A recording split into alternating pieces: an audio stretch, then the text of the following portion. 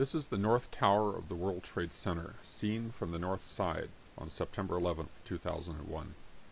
Just as it starts to fall, there are massive ejections of material at about the 98th floor. Many of us believe these are blasts from explosions that destroy the core columns, allowing the building to fall. However, those who accept the official government story claim we are merely seeing dust and smoke being pushed out the windows as a result of collapsing floors. It is hard to resolve this dispute directly because the core columns are not directly visible. Nearly hidden by all the spectacular ejections, one small focused jet of material has special significance. This little puff is not coming out of the window at all, but out of the corner of the building. Each corner of the building has two 14-inch box columns connected to each other by large steel plates and covered on the exterior with aluminum cladding. There are no corner windows. The corner columns are structurally significant because they connect the adjacent wall assemblies and give the building three-dimensional stability. If anyone wanted to demolish the towers, the corner columns would be natural targets.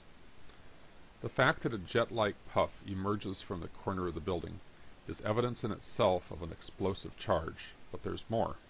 Notice that as the surrounding structure descends, this little jet, as it plays itself out, remains fixed relative to the original structure of the building. It does not move down with the falling walls and floors. This suggests that we could be seeing the work of a cutter charge strapped to a column. As the roofline moves down past the 98th floor, a surviving column is seen protruding upward from the debris cloud. It sways outward, but it does not fall for several seconds. Note that the top of this column exactly matches the height of the little corner puff. Careful measurements confirm this impression. The evidence is mounting that we are seeing not only a cutter charge in action, but the very column that is cut. The column sways, but it does not fall for a matter of seconds. Then it abruptly enters free fall. Again, careful measurements confirm this impression. What's going on below that allows the column to suddenly drop?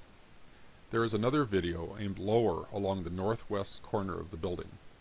Since we are looking for an event that happens at a specific time, we need to find some way to synchronize the two videos. Fortunately, there's an easily pinpointed event that is visible in both videos. When the column we've been watching starts to fall, it emerges from the shadows into bright sunlight.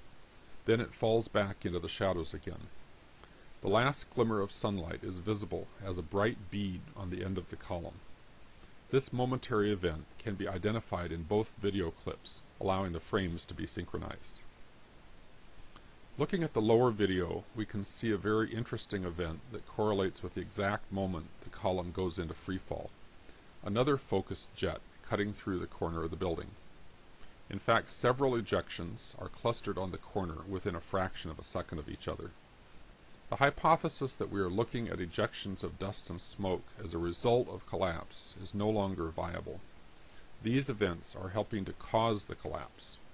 It is clear that the focused corner jets are capable of cutting through steel. If what we are seeing is an example of explosive charges cutting through steel columns, then it is clear that explosives were used in the building.